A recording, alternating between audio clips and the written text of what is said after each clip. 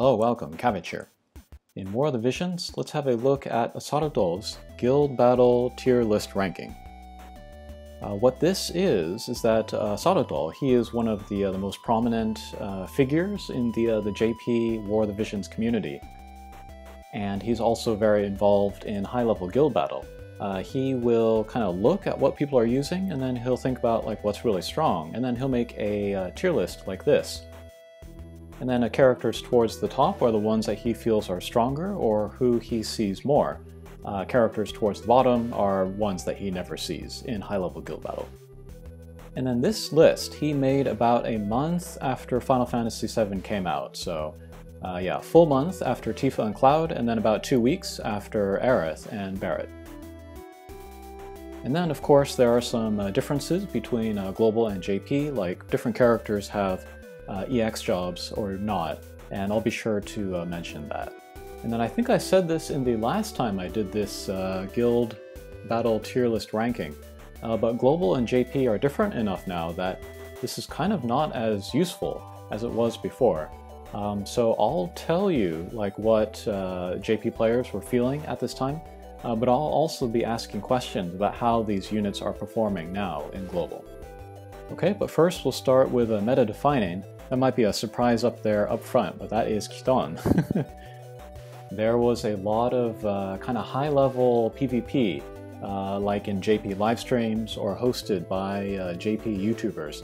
And uh, Kiton really made an impact uh, in those matches, and so a lot of people started using her, and she was very strong. I was wondering though, like how often people use her or see her uh, in Global. And can I say here that I'm always disappointed that the videos that I put up of high-level JP PvP is not watched more.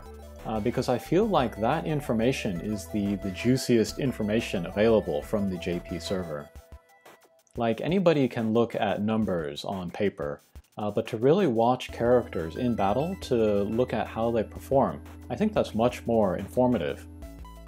And I say this all the time, but every character is good, and then seeing them in battle, uh, they always look, they always perform better than they look on paper. So I think it's really important to uh, watch those, and I'll put links to those in the comments. Alright, next we got the old standbys, Mont, Helena, and Dwayne. I think for a couple months now at least, uh, we've not had a lot of variety in the, uh, the top of PvP. But I looked at the announcement of Final Fantasy VII in JP and I saw all of the different elements and all of the different attack types in there. And I thought, okay, now they're really going to try to open up uh, the meta, try to get the game closer to Golden Time, like I mentioned before. And that turned out to be true. We're going to see more uh, variety of teams uh, going forward. And leading the way are Tifa and Cloud. Tifa is amazing as a handout unit, super duper solid, uh, I don't think she's better than 2B. uh, but just with the, uh, the timing, uh, I think everybody's using her. She's easier to get and then level than 2B. And then also she was getting all of the, uh, the bonuses uh, for like arena points and stuff during this time. So that's probably why Asaruto put Tifa up there. And I think most people's minds are made up about what to do about Final Fantasy VII, but if there's anyone like waffling, like maybe they're thinking of skipping 7 completely, or maybe they just want to do like one character. Uh, Tifa is my number one recommendation for everyone. She's top class and she's a handout unit, so yeah. You don't have to feel like you need to pair her with 2B or like you can't use Tifa if you don't have 2B and the vision card. Uh, Tifa is pretty terrific uh, by herself. Alright, and then we got Cloud, and I would say still, he's maybe the best cost 90 unit in the game. Uh, I remember this time in uh, JP, this was after the, uh, the cost 100 rush, and then people were very upset about the cost 100 units. And then if you look at the history of Cloud in like uh, Final Fantasy Brave Exvius, like every time he would be released, uh, they would announce a new form. And so everybody in JP was freaking out like, oh god, Cloud is coming. Are they going to make like, you know, cost 120 unit or like a 7 star or something? I feel like Cloud does perform like a cost 100 unit, and he might have originally been a cost 100 unit, but they saw the outcry of the, uh, the cost 100 boycott and stuff in JP, so they might have lowered his cost to 90, or they might have changed the whole cost system, I don't know. But anyway, uh, Cloud, he punches above his weight, and anybody who's going for him, uh, you are not wrong. Alright, next we got uh, Triple S. Uh, let's see, Gilgamesh. He's turned out to be one of the best investments in the game, but he's super good. King Mont is really kind of the only one that he runs into trouble against, but against everyone else, he does pretty well. Uh, 2B, still one of the best units in the game. Uh, we got Christmas Victora. I'll talk about her when she gets her release in Global, her EX job. Uh, next, we got Valentine Salia, still a great unit. And uh, again, I want to ask Global players if they've been seeing her or if they've been using her. I think she's a really good unit. And then we have Charlotte, who may be the best tank in the game right now, but I think a lot of that comes from uh, being paired with Cloud. And that's a great uh, duo. Uh, and it's a duo so strong, you can kind of pair them with anybody. I talk about uh, Dwayne and Helena being kind of a very strong duo where they don't even need like a third character. Uh, Cloud and Charlotte are maybe the closest thing to that as well.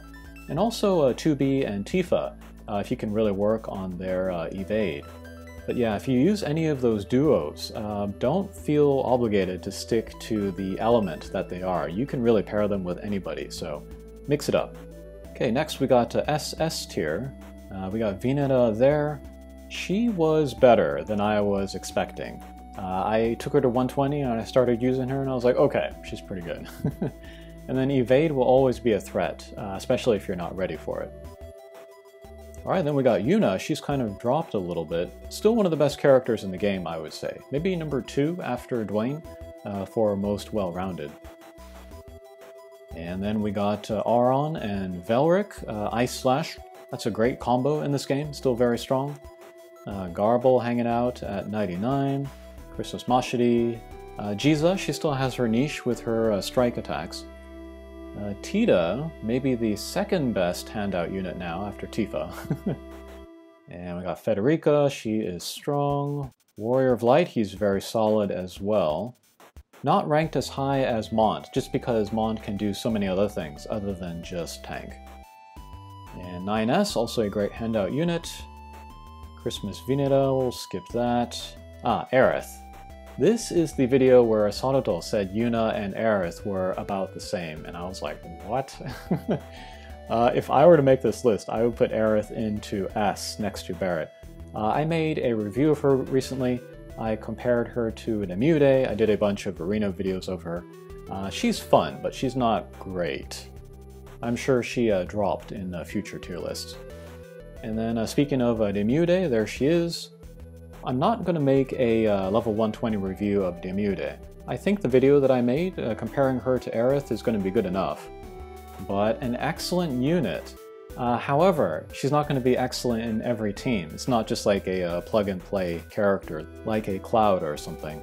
Uh, she needs to work well with the, uh, the units, and then the map, and then the enemy that you're going against. but if all of those things line up, she's great.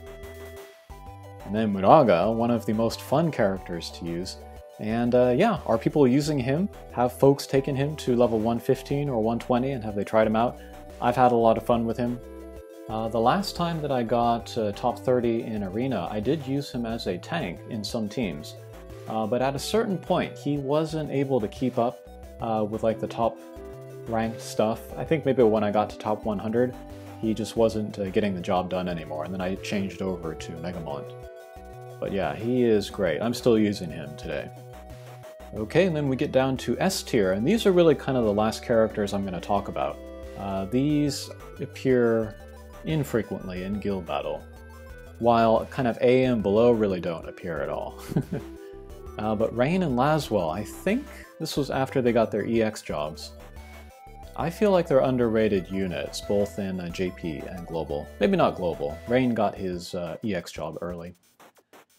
And then we got some win characters, and then let's see, Rob and Edide, they've kind of uh, slipped down the ranks. And so have uh, Stern and Super Stern. At this point of Guild Battle, they really only live on mono dark teams. And then like a combo that I saw a lot was Helena, Dwayne, and Cloud. And if you have a chance to use Cloud instead of Stern or Super Stern, Uh, people are going to do that. Uh, but Nivlu is still good with the status effects. Sasayaki, not great for a guild battle. She was very popular for a time. She could be a good partner with uh, Helena and Dwayne. And then Engelbert, I think this is post-EX jobs, uh, but people still haven't caught on to how good he is, but he will explode in the, uh, the coming months. And then uh, Christmas Ramada, I think she's too high on the list. And then we have uh, Luel and Mua. This is kind of sad to see them down here. They're really good, uh, but they're a little bit situational, and then they're totally uh, overshadowed by Helena, so yeah, they're down there. And then we have Barret. I think he's a fun character. Uh, I'll do a level 120 review of him in a, a, uh, few days. But yeah, not easy to use at all. And then finally, a Kamiro. He's good, uh, but Asaruto was saying just nobody uses him, so that's why he's down in S. okay, and then we got A tier. I don't think there's anything to say here. Uh, let's see. Corwell. How do global players like Corwell? I guess he's not popular at all in JP. And then B tier, nothing to say here either. Uh, swimsuit units did not have EX jobs uh, at this point. I'd be interested to uh, hear how often you see these characters in high-level PvP as well.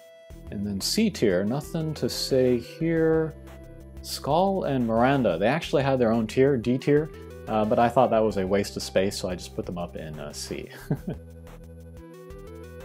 okay, so this is a uh, snapshot of what high-level guild battle was looking like in JP after the release of Final Fantasy VII. It'll be interesting to see how it plays out in Global. Alright, thanks for watching and we'll see you again. Take care.